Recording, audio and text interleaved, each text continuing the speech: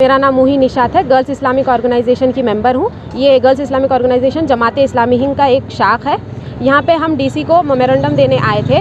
जो आप हालात हालात देख रहे हैं मुल्क में, कर्नाटका में जो चल रहा है, उड़पी के एक छोटे से कॉलेज से शुरू होकर वो बढ़ते बढ़ते उड़पी डिस्ट्रिक्ट और फिर पूरा कर्नाटका में इसका नज़र आ रहा है, जो हिजाब का इशू लेकर उठे हैं।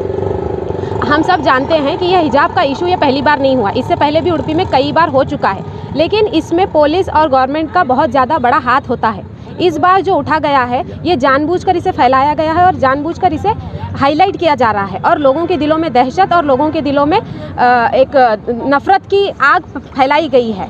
इसमें पुलिस और गवर्नमेंट को बहुत ज़्यादा एहतियाती से काम लेना चाहिए था और इसे उसी वक्त जब ये शुरू हुआ था, उसी वक्त एक कम्युनिटी को जो ज़्यादा पावर दिया गया था और एक कम्युनिटी पे जो जुल्म हो रहा था, उसे रोकने की कोशिश करनी चाहिए थी। लेकिन जब ये हालात इतना बढ़ गया कि पूरे स्टेट पे आ गया और इंटरनेशनल लेवल के ऊपर तक भी ये न्यूज़ फैल चुकी है, अब फिर इस इस पर क्या है, अमन के बारे में बात की जा रही है।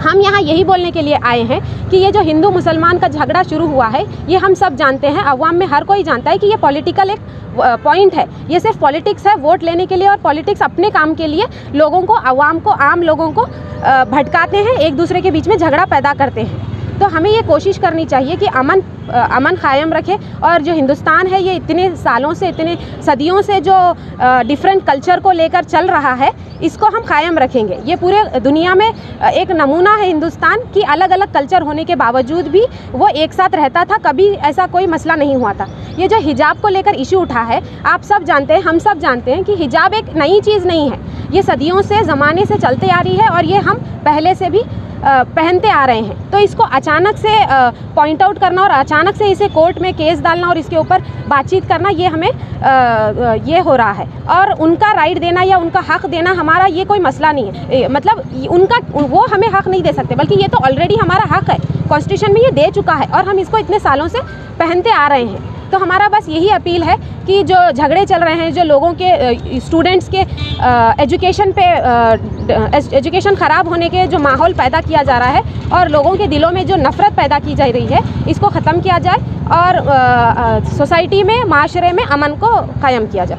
आज जमात इस्लामी हिंद की जानब से हम लोगों ने डी साहब को एक मेमोरेंडम दिया।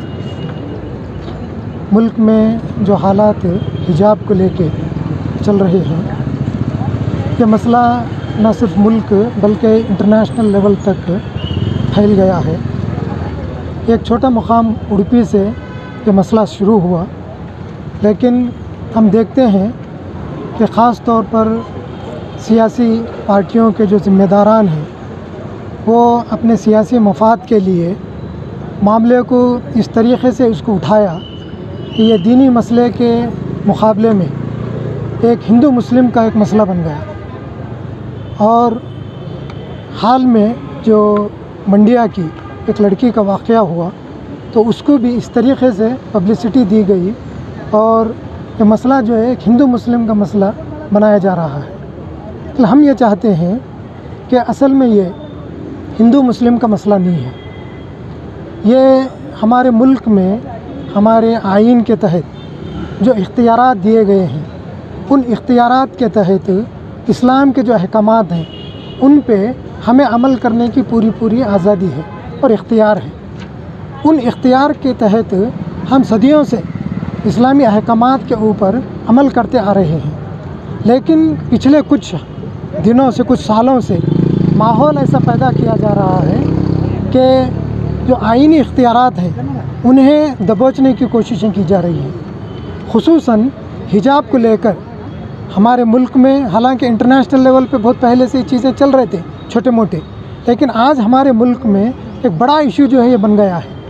जबकि न सिर्फ़ मुसलमान, क्रिश्चियनों को देख आप, वो भी जो है अपने स्कार्फ पहनते हैं, और मारवाड़ी कौम को देखिए, वो भी अपने जो है दुपट्टे सरों पे डालते हैं और सर के नीचे भी जो है चेहरों पर भी जो है दुपट्टे उनके आते हैं। तो ये एक रिवाज है एक कल्चर है। और सिख बिरादरी है वो लोग जो है पहनते हैं अपने मज़हब के तहत। तो ख़वातीन को सर ढाँकने के हिजाब करने के अल्लाह ताला ने कुरान में हुक्म दिया है। हिजाब इज़ माय राइट हिजाब इज़ राइट